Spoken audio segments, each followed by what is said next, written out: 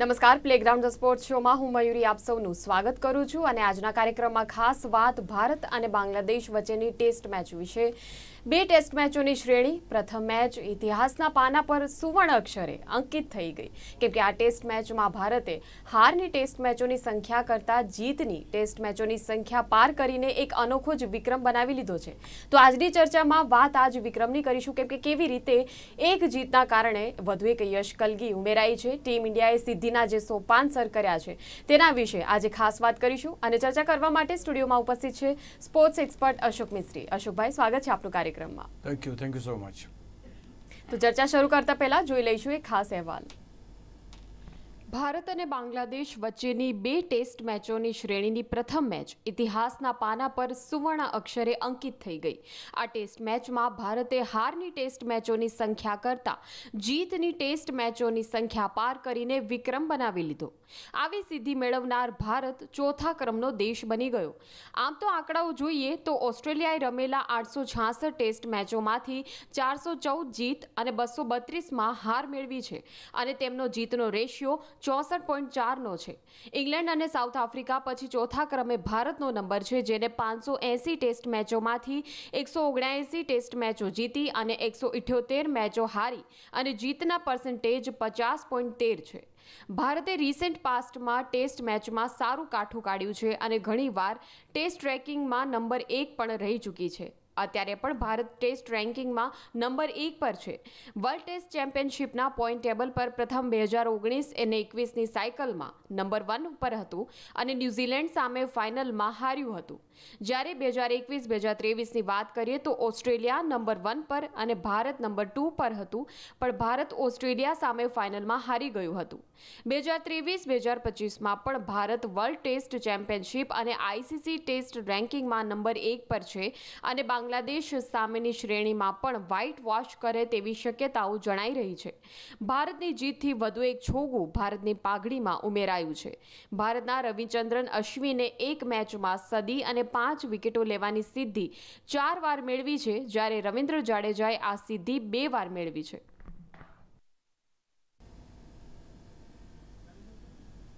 તો ટીમ ઇન્ડિયાની સિદ્ધિઓ વિશે જ્યારે વાત કરવા જઈ રહ્યા છે અને કાર્યક્રમની શરૂઆતમાં અશોકભાઈ, પહેલો સવાલ તો એ જ કે ટેસ્ટ મેચ ક્રિકેટમાં ભારત વૈશ્વિક ફલક પર હવે જે મજબૂત થતું જાય છે, જે સ્થાન એક મેળવતું જાય છે, અવનવા શિખરો સર કરતું જાય છે, એમ ચોક્કસપણે કહી શકીએ.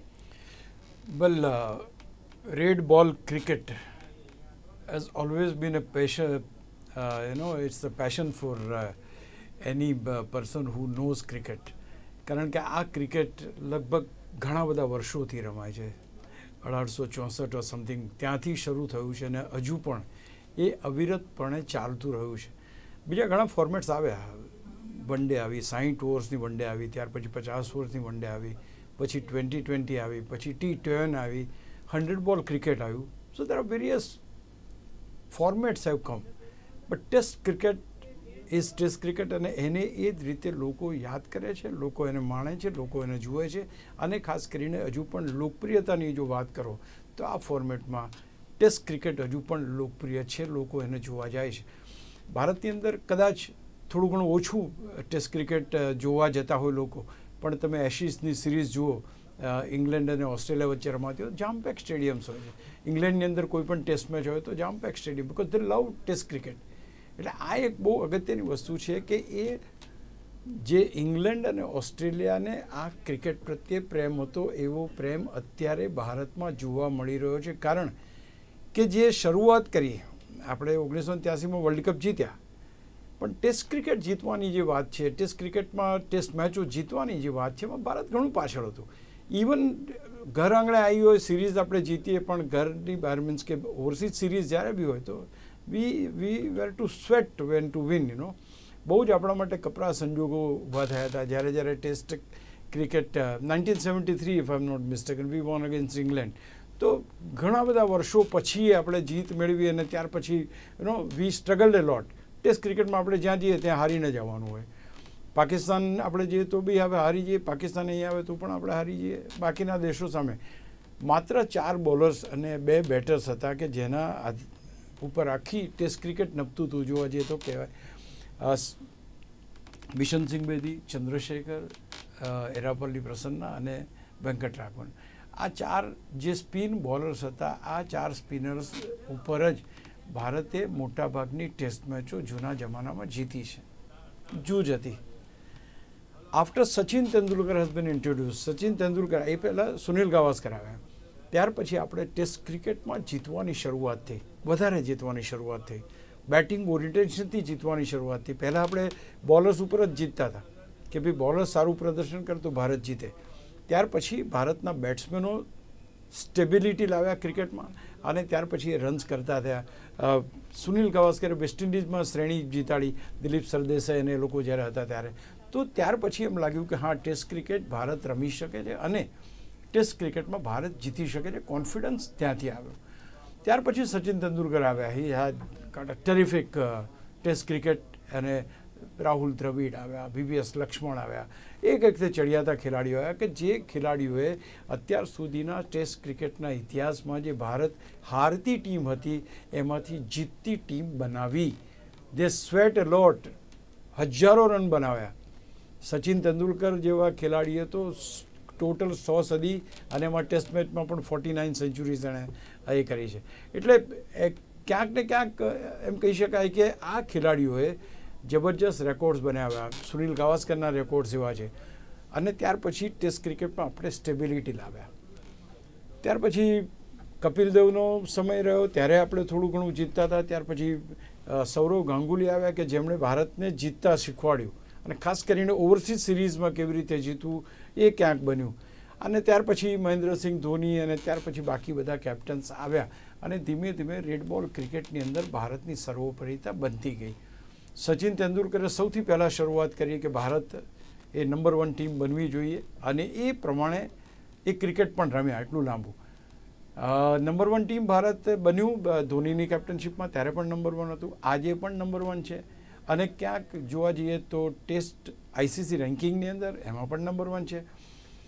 તમે જે વાત કરી ખાસ કે આ વખતે રેકોર્ડ એવો તૂટ્યો છે કે જીતની સંખ્યા વધુ છે અને હારની સંખ્યા ઓછી થઈ. This is very unique unique એટલા માટે કે ભારત એ સ્થાપક દેશ નથી. ઇંગ્લેન્ડ એ સ્થાપક દેશ કહેવાય. એના એના પેરેન્ટ પેરેન્ટ કન્ટ્રીઝ કહેવાય. એને ઇંગ્લેન્ડ અને ઓસ્ટ્રેલિયા બે. ક્રિકેટ ત્યાંથી શરૂઆત થઈ. આપણે તો નાઇન્ટીન થર્ટી ટુમાં આવ્યા, એટલે વી વી વી કેમ વેરી લેટ એટલે હું માનું છું કે ત્યાર પછી જે રિસન્ટ છેલ્લા વીસ વર્ષના ગાળામાં જે ક્રિકેટમાં પરિવર્તન આવ્યું, જે ક્રિકેટની અંદર રેકોર્ડ્સ બનતા ગયા, ભારતના ખેલાડીઓ ભારતમાં જીતતા હતા. પહેલાં તો એવું એવું હતું ભારતમાં આવે તો ભારતમાં આપણી સ્પિન વિકેટો કલકત્તાની ઇડન ગાર્ડન સ્પિન તમારી પાસે છે ચેન્નઈની ચેપોક સ્પિન વિકેટ આ બે વિકેટ ઉપર જ્યારે જ્યારે મેચ આવે એટલે ભારત જીતે. આ પ્રકારની સ્થિતિ હતી કે અમુક પર્ટિક્યુલર મેદાનો પર જ ભારત જીતે અને ઓવરસીઝ તો જીતવાની વાત જ નથી. ઓવરસીઝ સિરીઝ તો લગભગ બે ત્રણ ખેલાડીઓ રિટાયર થઈ જાય એટલે રિટાયર્ડ હર્ટ થાય અને એક બે, જે કેપ્ટન હોય એનું રાજીનામું આવે. આ પ્રકારની ઘટનાઓ બનતી હતી. દેન ઇટ કેમ ઇન એનો, જ્યારે ગાંગુલી આવે ત્યારે બન્યું કે હા ભાઈ, હવે આપણે બહારની સિરીઝ પણ જીતવી. અને એ પછી જીતતા આવ્યા, જીતવા લાગ્યા. આપણે ઓસ્ટ્રેલિયાને ઓસ્ટ્રેલિયામાં હરાવ્યું, ઇંગ્લેન્ડને ઇંગ્લેન્ડમાં હરાવ્યું. We we have defeated most of the countries test playing countries અને રિસન્ટ પાસ્ટમાં આપણે એ ગૌરવ પ્રાપ્ત કર્યું કે વર્લ્ડ ટેસ્ટ ચેમ્પિયનશિપ બે હજાર બે હજાર ઓગણીસમાં શરૂ થઈ. We are right on number one top પર છીએ આપણે. બીજું કે વર્લ્ડ ટેસ્ટ ચેમ્પિયનશિપની વર્લ્ડની આઈસીસી રેન્કિંગની વાત કરું? વી આર નંબર વન તો ક્યાંક ને ક્યાંક ભારતના ટેસ્ટ પ્લેઇંગ જે ખેલાડીઓ છે, એ ખેલાડીઓએ ભારતને એટલું ગૌરવ આપ્યું અને આ વખતે એ ગૌરવે ક્યાંક હારેલી ટેસ્ટ મેચોની સંખ્યાને પાર કરીને જીતેલી ટેસ્ટ મેચોની સંખ્યા વધારી. આ એક યુનિક એટલા માટે છે, દર other countries also Australia number one છે, કારણ કે એમને તો ચારસો ચુમ્માલીસની સામે બસો ને બત્રીસ હાર્યા છે. બહુ જ મોટો ફાંસલો છે. ઇંગ્લેન્ડ છે સાઉથ આફ્રિકા છે. ભારત ચોથા ક્રમે છે.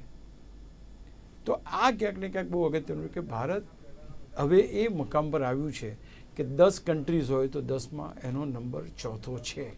અને એમાં ખાસ કરીને વાત કરીએ તો જે જીતની સંખ્યા એ વધી છે અને હાર અત્યાર સુધીમાં જે ટેસ્ટ મેચો આપણે હાર્યા છે, એની સંખ્યા ઘટી છે. ઓફકોર્સ ઇટ ઇઝ એક બે ટેસ્ટથી જ ઘટી છે એટલે આપણે એટલું ફૂલાઈ જવાની જરૂર નથી. પણ જે રીતે ક્રિકેટ આગળ વધી રહ્યું છે it it takes to that that particular way એ એ રસ્તે જઈ રહ્યું છે કે જ્યાં આગળ આ સંખ્યા હવે દિન બ દિન આપણને વધતી જોવા મળે.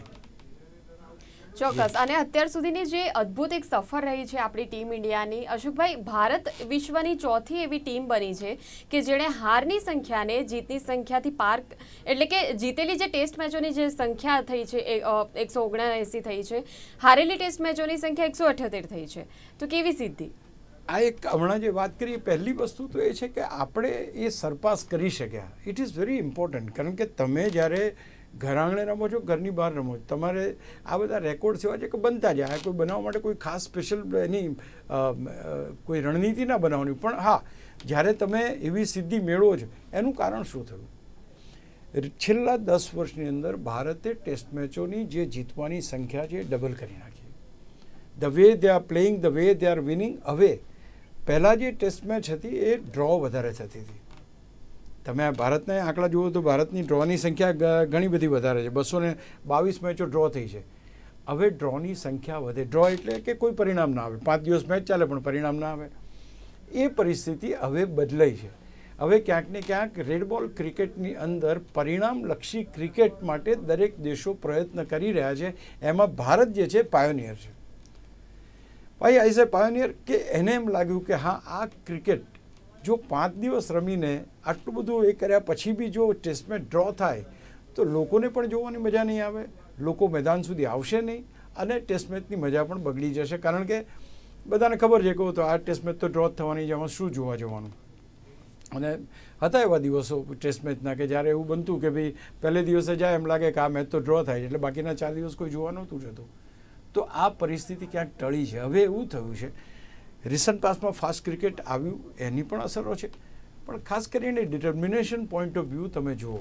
અને સૌથી બીજી મહત્ત્વની બાબત અહીંયા કહેવાનું મન થાય કે ગેજેટ્સ ગેજેટ્સ આવ્યા પછી ભારતના ખેલાડીઓની જે કન્વર્ઝન રેશિયો જે છે, એ પણ વધ્યો છે. કારણ કે મને યાદ છે, જૂના જમાનામાં Malcolm Marshall Michael Holding Joel Garner, આ બધા બોલિંગ કરતા ત્યારે સુનિલ ગાવસ્કર જેવા બેટ્સમેનો કોઈ જાતની હેલ્મેટ વિના રમતા હતા. કેન યુ બિલીવ ઇટ એકસો પચાસ માઇલની સ્પીડે એકસો પચાસ કિલોમીટરની સ્પીડે જ્યારે બોલ આવતો હોય વિધાઉટ હેલ્મેટ તમે એને ફેસ કરો. ઇટ્સ નેક્સ્ટ ઇમ્પોસિબલ એમાં એમણે સેન્ચુરી મારી, એમાં એમણે જીતાડ્યા.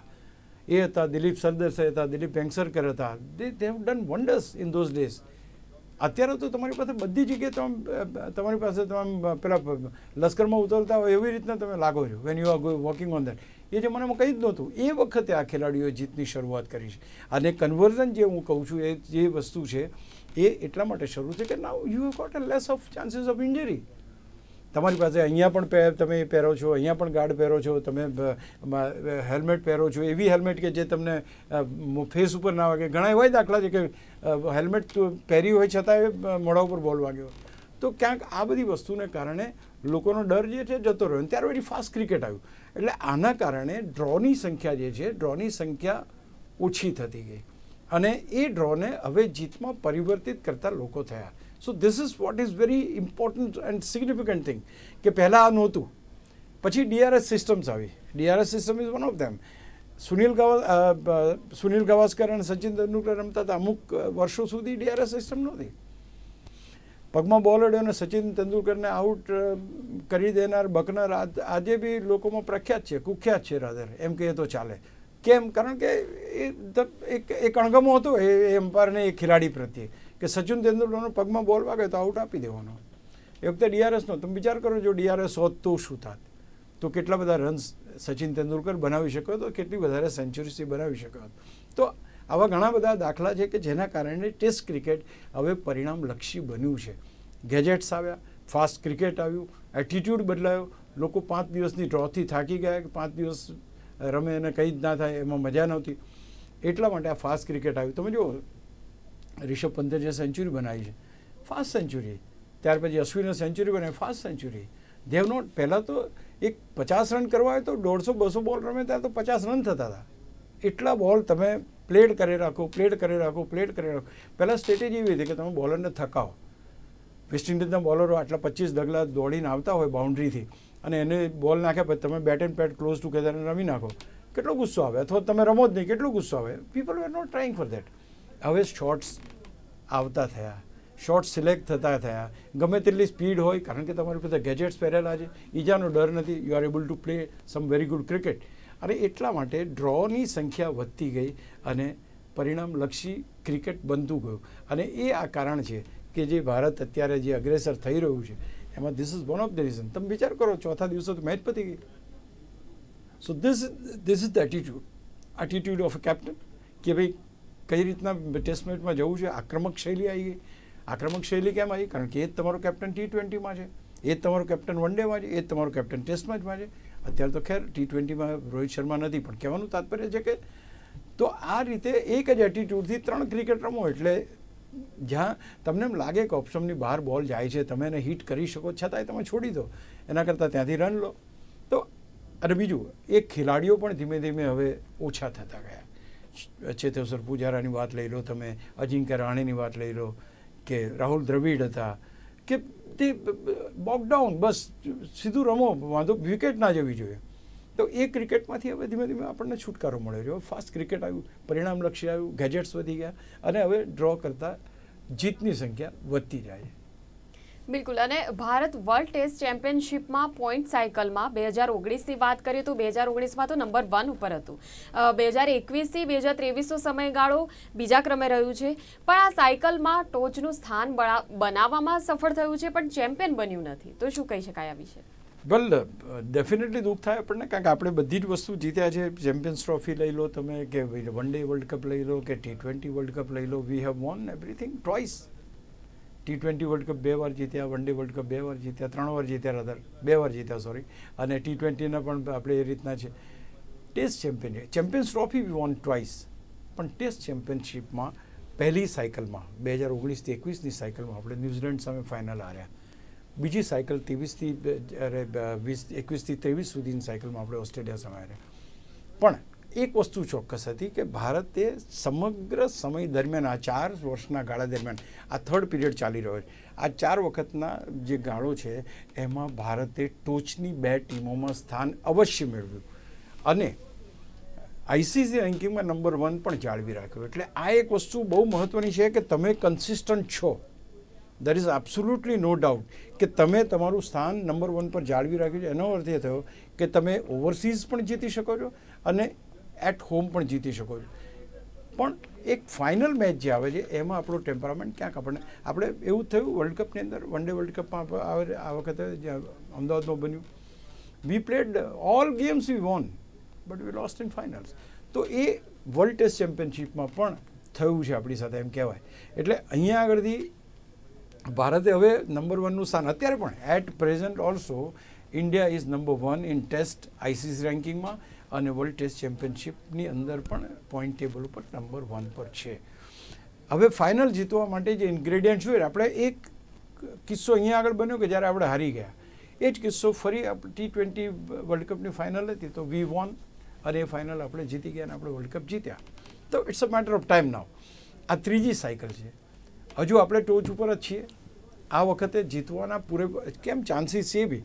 કારણ કે એક તમારી પાસે કોચ બદલાયા છે, ગૌતમ ગંભીર કોચ આવ્યા છે.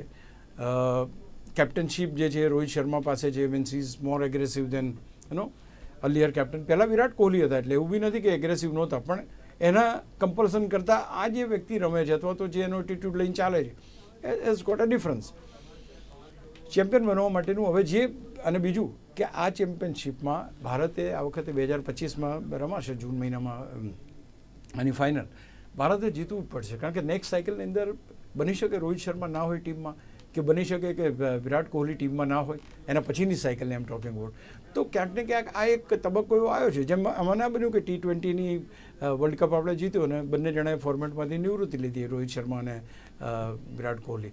તો ક્યાંક આ બધી વસ્તુ બહુ અગત્યની બની જાય. એટલે આ વખતનું વર્લ્ડ ટેસ્ટ ચેમ્પિયનશિપ જીતવા માટેના કારણોમાં એક મોટા મોટું કારણ એ છે કે આ દિગ્ગજોની સેવા, એની પછીની સાયકલ જે છે, એમાં મળશે કે નહીં વી ડોન્ટ નો મળશે તો well there is nothing wrong in it પણ ત્યાર પછી એમનું આગળ ટકવું અથવા તો આ કોમ્પિટિશનમાં ટકવું મુશ્કેલ છે. એટલે આ દિગ્ગજ ખેલાડીઓ બહાર જાય એ પહેલાં વર્લ્ડ ટેસ્ટ ચેમ્પિયનશિપ પણ ભારત કબજે કરી લે. એ આપણે જોઈએ છીએ બિલકુલ, અને ખેલાડીઓની જ્યારે આપણે વાત કરી રહ્યા છીએ, એ ખેલાડીઓનું ખાસ નામ લેવું જરૂરી છે. રવિચંદ્રન અશ્વિન જે સાતત્ય ભર્યું પ્રદર્શન એનું જોવા મળ્યું છે ભારતને, એટલે હંમેશા ઘર આંગણે એક અપર હેન્ડ અપાવે છે એમ કહી શકીએ. એબ્સોલ્યુટલી તમે આ બધી, આ લુપ્ત થતા ખેલાડીઓ છે. Let me tell you why am using this word because આજે બે વર્ષ પછી તમને આ ખેલાડી જોવા નહીં મળે. ત્યાં ત્યાં દિગ્ગજ. આ જે દિગ્ગજ ખેલાડીઓ છે, એ તમને બે એક વર્ષ પછી કદાચ જોવા ના મળે. રવિન્દ્ર જાડેજા અને અશ્વિનનો commitment to the game is excellent તો આ એક વસ્તુ બહુ અગત્યની કમિટમેન્ટ ટુ ધ ગેમ કેવું because they they they they play only one format now એક જ ફોર્મેટ રમે છે એટલે એમાં હંડ્રેડ ટુ હંડ્રેડ પર્સન્ટ આપે છે.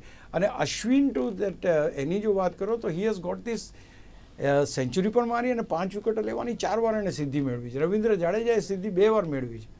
તો આ બધા દિગ્ગજ ખેલાડીઓ છે. અને એટલા માટે એ હજુ પણ they are just shining man of the match જીતવાની વાત હોય, ચૌદ મેન ઓફ ધી મેચ તેંડુલકરે જીત્યા, દસ મેન ઓફ ધી મેચ અશ્વિને જીતી લીધા.